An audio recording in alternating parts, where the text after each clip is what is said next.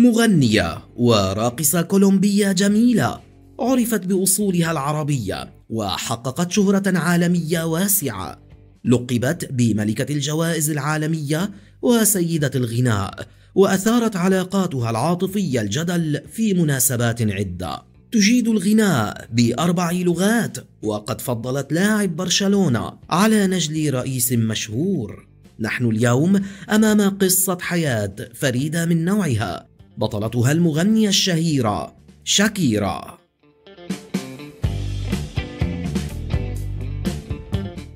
ولدت الفنانة شاكيرا إيزابيل مبارك ريبول المعروفة فنيا باسم شاكيرا في مدينة بارنكيا في كولومبيا في الثاني من فبراير من عام 1977 يعود والدها دون ويليام مبارك إلى أصول عربية.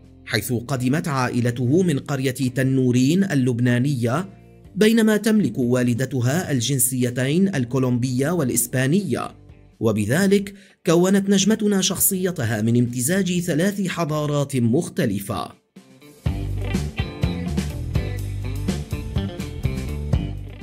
كانت شاكيرا الابنة الوحيدة لوالدتها بينما يملك والدها ثمانية أولاد من زواج سابق. كانوا الإخوة الغير أشقاء لها. قضت سنوات طفولتها في بارنكيا وفي سن مبكر بدأت تظهر عليها علامات الشغف بالفن والغناء. ورغم ذلك كانت موهبتها تتعرض للتنمر من أصدقائها في المدرسة.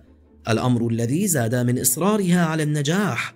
وبينما لم تبلغ الثامنة من عمرها كتبت أول أغنية لها وتعلمت العزف والتلحين وبسبب عمرها الصغير لقبت في منطقتها بالطفلة المعجزة. وبعد سنوات قليلة وتحديدا عندما أصبحت في الثالثة عشر من عمرها وقعت أول عقد موسيقي لها. وفي نفس العام تركت مدينتها بارانكيا وانتقلت مع عائلتها إلى بوغوتا.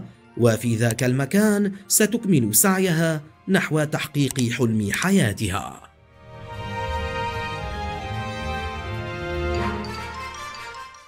في بوغوتا عملت شاكيرا على تنمية مواهبها وبدأت تدخل إلى عالم الغناء شيئا فشيئا. أصدرت ألبومها الأول سحر والثاني خطر وعلى الرغم من عدم تحقيقها شهرة واسعة فيهما إلا أن ألبومها الثالث أقدام حافية حقق نجاحا باهرا ليكون المحطة الأولى في شهرتها العالمية. وعن سبب تسمية هذا الألبوم يحكى أن والدها مر بضائقة مالية كبيرة واضطر لبيع أثاث منزله الأمر الذي ترك فيها حزنا كبيرا وعندها قرر اصطحابها إلى منتزه يرتاده الفقراء لترى المعاناة وتصبح مقتنعة بحياتها.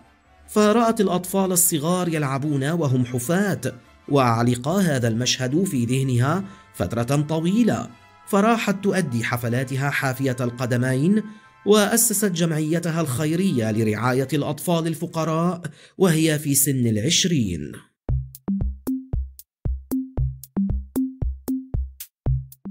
تتالت ألبومات شاكيرا وأغانيها الناجحة وعرفت بخلطها للغناء اللاتيني مع الروك الأمر الذي أعطاها شهرة كبيرة في الدول الناطقة بالإسبانية.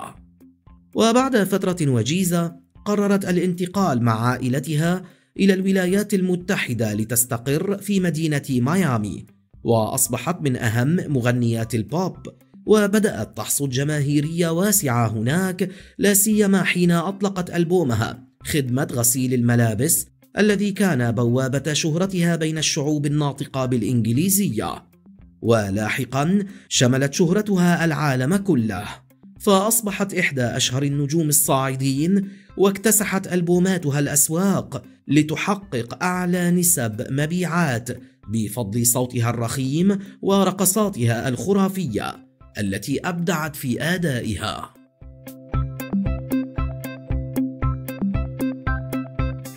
خاضت شاكيرا العديد من التجارب العاطفية. لم ينتهي أي منها بالزواج أو الاستقرار. لم تخفي نجمتنا علاقاتها عن الجمهور. اعترفت أنها وقعت في حب خمسة رجال في حياتها وأن تجربتها الغرامية الأولى كانت في الثالثة عشر من عمرها. كانت علاقتها مع المحامي أنطونيو دولاروا ابن الرئيس الأرجنتيني السابق أكثر هذه العلاقات إثارة للجدل. فقد ظهرا سويا لمرات عدة وأعلنا عن خطوبتهما قبل أن يتفاجأ الجمهور بانفصالهما بعد عدة سنوات.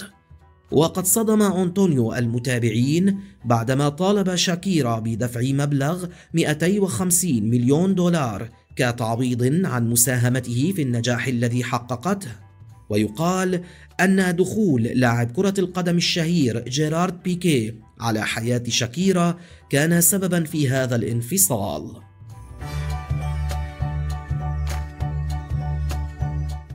استطاع لاعب برشلونة الوسيم أن يسرق قلب شاكيرا منذ اللقاء الأول وبدأت العلاقة بينهما تتعمق شيئا فشيئا لا سيما بعد أن اشتركا في الحملات الترويجية لأغنيتها الرسمية واكا واكا الخاصة بمونديال 2010 وبعد فترة قصيرة بدأت علاقة الحب تظهر إلى العلن.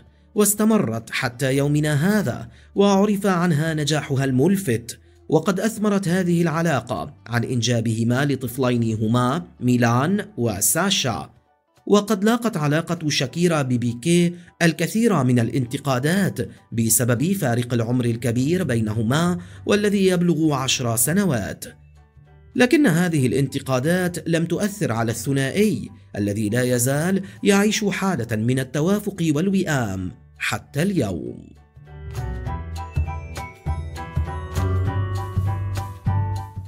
عرف عن شاكيرا أنها كانت تؤلف أغانيها بنفسها الأمر الذي ميزها عن غيرها من المغنين كما تفردت بقدرتها على الغناء بأربع لغات هي الإسبانية والإنجليزية والإيطالية والبرتغالية.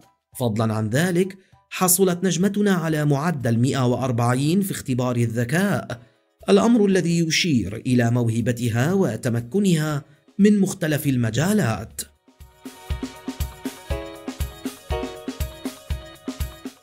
وقد تميزت عن غيرها من راقصات الغرب ببراعتها الكبيرة في تأدية الرقص الشرقي الأمر الذي يدل على تأثرها الكبير بأصول عائلتها العربية.